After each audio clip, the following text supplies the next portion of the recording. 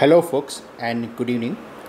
Today, we are going to discuss something very interesting, uh, something I read re- very recently, and it should be very relevant to the future of diabetes mellitus management. And that is the relation between the endoplasmic reticulum stress and diabetes mellitus. And it applies to both type 1 diabetes as well as type 2 diabetes. So, let's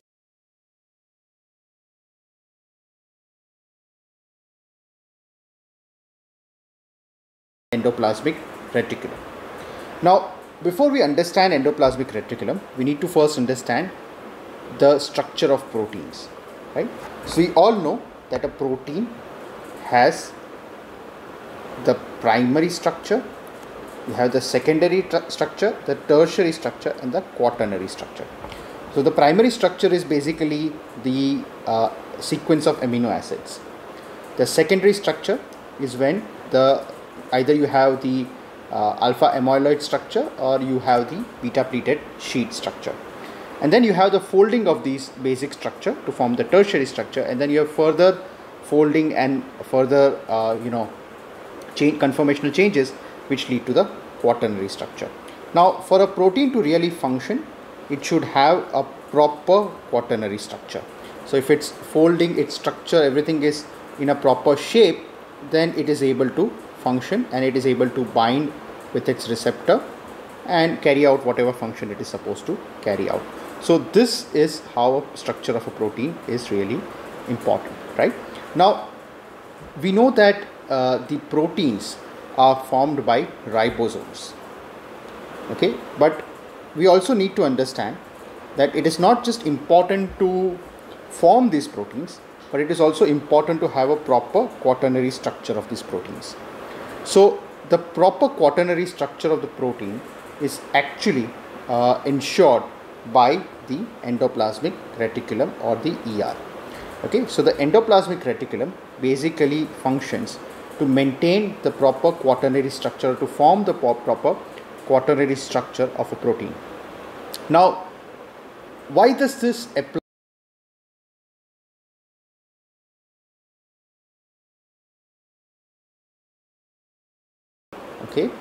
And insulin is a very important protein in our body.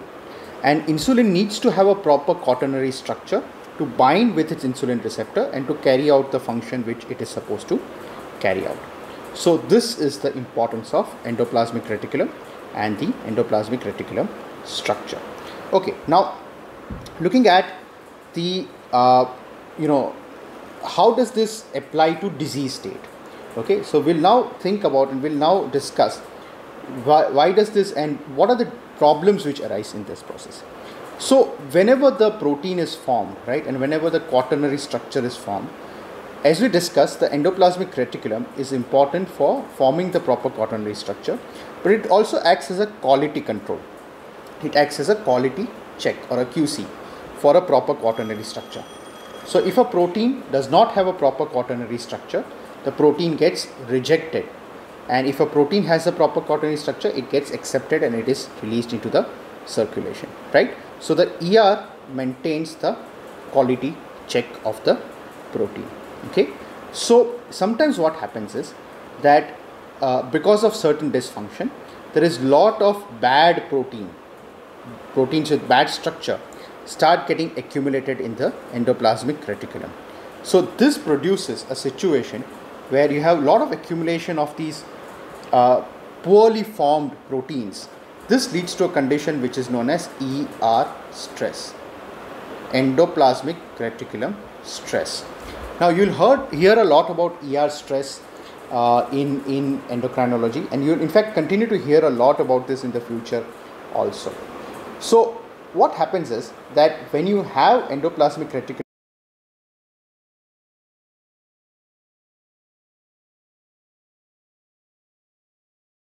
plasmic reticulum stress.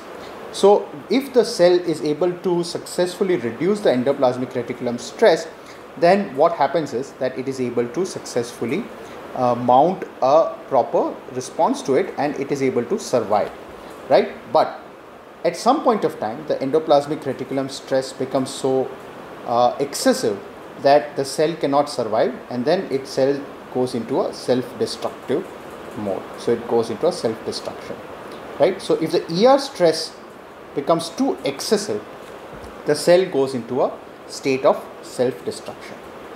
So now coming back to how it applies to diabetes mellitus. Now the interesting thing is that the ER stress is a kind of a unifying theory for both type 1 diabetes as well as type 2 diabetes.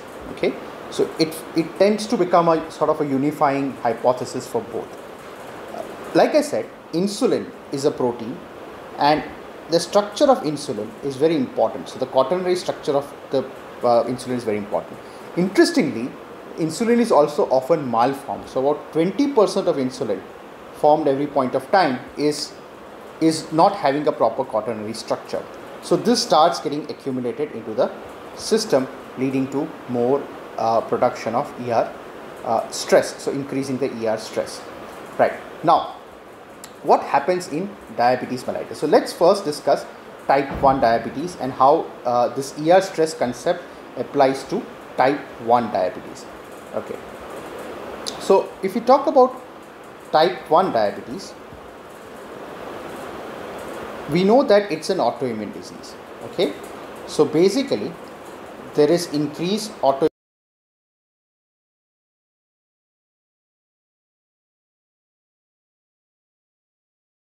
auto cells. There will be of course damage to the cells leading to uh, more malformed proteins and leading to increase of the ER stress right? So this ultimately the autoimmune destruction autoimmune insult on the beta cells often leads to increase of ER stress. And eventually this ER stress uh, the body is not able to compensate and it goes into a auto-destructive self-destructive situation and it kind of tends to destroy itself leading to uh, the destruction of the beta cells. So this is one of the mechanisms of type 1 diabetes. The other thing is what happens in type 2 diabetes. Now why does the ER stress occur in type 2 diabetes?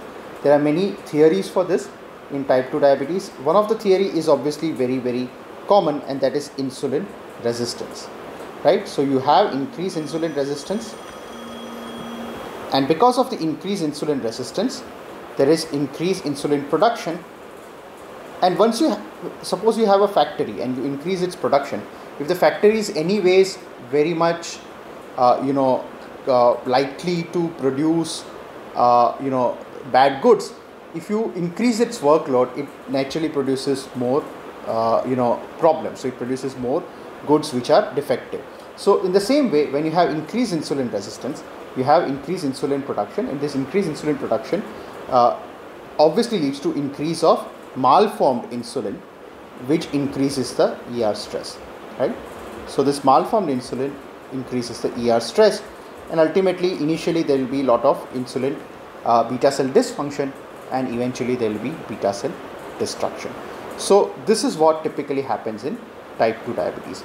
So what you need to understand is that endoplasmic reticulum stress is important both for type 1 as well as type 2 diabetes. However, the mechanism by which ER stress occurs in both type 1 and type 2 diabetes is little bit different, right? So this is one of the difference between type 1 but eventually there is increased ER stress which leads to beta cell destruction or beta cell dysfunction right so this is the common pathway for both type 1 and type 2 diabetes now how do we apply this knowledge to clinical medicine so what are the clinical aspects of this that we need to understand now one thing you have to understand is that if there is some mechanism by which you can reduce the ER stress or improve the body's response to ER stress, then you might be able to preserve the beta cells for a longer period of time and hence you can uh, prevent the progression of both type 1 as well as type 2 diabetes. Now, unfortunately, so far we have not been able to, there are certain uh, you know uh, candidates for this imatinib uh, very interestingly which is a uh, anti-cancer drug used in CML uh, is known to reduce ER stress and perhaps this uh, you know of course there are no clinical trials for this so far just animal trials in NOD mice where it has been found to be useful. However in future this is something which can be used and there is something known as TUDCA I'll not tell you more details about it, but you can read up in the reference which is given below. Uh, this also is known to be a candidate to reduce ER stress and perhaps increase the longevity of the beta cells of the pancreas by reducing the endoplasmic reticulum stress. So these are some of the uh, clinical aspects. One very interesting clinical aspect, uh, which I find and which is which is kind of a conclusive proof of uh, the presence of ER stress, is a condition known as Wolcott Rallison syndrome. Now, interestingly, in this syndrome, one of the components of this syndrome is diabetes mellitus, right? They have these children tend to develop diabetes mellitus.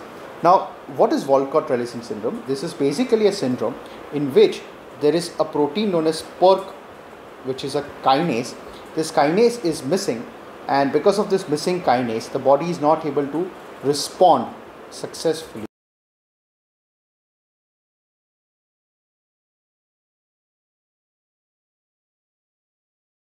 These children tend to develop diabetes apart from the other clinical features. So what this tells you that there is definite a link between diabetes and ER stress, uh, which is very well evidenced. And I think a lot of the times, uh, you know, we understand a disease better when you really, uh, you know, look at some autoimmune disease, uh, some congenital disease or some enzyme deficiency which really links to that. So I think in that sense, this tends to uh, cement a bond between ER stress and diabetes mellitus. So what I'm trying to just summarize here is that ER stress, endoplasmic reticulum stress, is an important player in the etiology of both type 1 and type 2 diabetes. Also, it's an important player in the progressive beta cell dysfunction that happens at different rates, of course, very rapidly in type 1 and at a slower rate in type 2 diabetes. But the beta cell destruction is linked with the ER stress, and if we are able to stop the ER stress, we will probably increase the beta cell longevity and uh, you know perhaps uh, might have a treatment aspect uh, in future so thank you for listening to this and i hope to come up with more such interesting videos in this channel very soon